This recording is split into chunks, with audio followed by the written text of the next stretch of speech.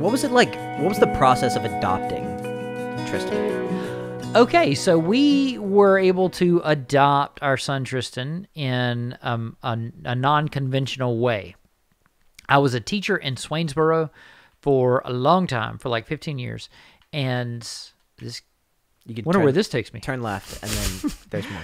Um, and, and so you end up teaching lots of people. And I, I taught these two sisters um, in my classes throughout the different years. I knew they had a younger brother who eventually made it to high school, and I met him. I never had the chance to teach him, but he was in a club that I sponsored.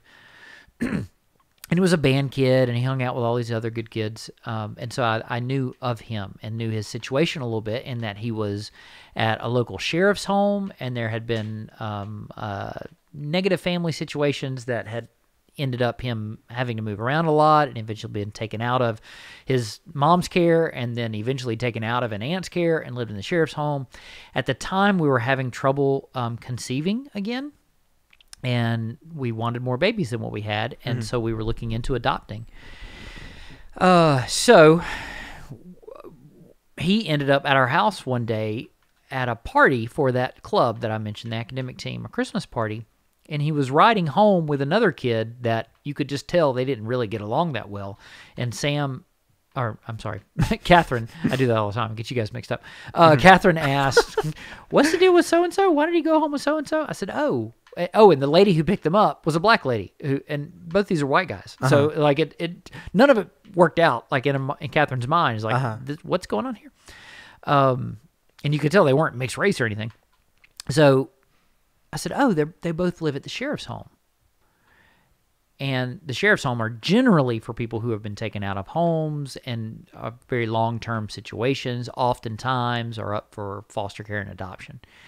And so we got into a long conversation about his situation and all that good stuff. Um, and as I said, we were thinking about adopting and maybe foster care.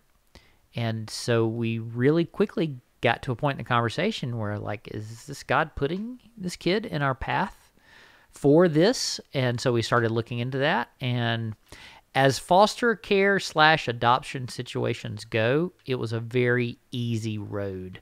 There were a couple of little legal hurdles just because of it wasn't um the normal adoption situation. There were um, family member, extended family members that had legal custody of him. Mm. That we were worried about their motives as to either holding on to him or letting him go.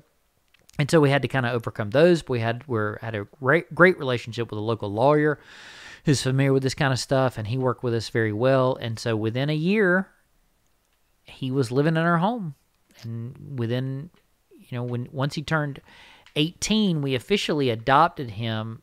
Um, and he only came to live with us when he was 16. This whole process began when he was 15. So I guess that's a long way of saying it was really easy to adopt him. and apparently we missed all the troubled years. He had a rough time of it in middle school. By the time he got to us in high school, he had leveled out. And we've gotten so lucky because the kid he hung out with the best kids in the school, and he wasn't on drugs, and he didn't want to want to cause problems. He really wanted the best out of life and what life had to offer in the best possible way, and um, has been a joy. So there, he's now 26, and he's engaged to be married, and he's pursuing a professional career and adjusting as needed in those respects. So he's doing great.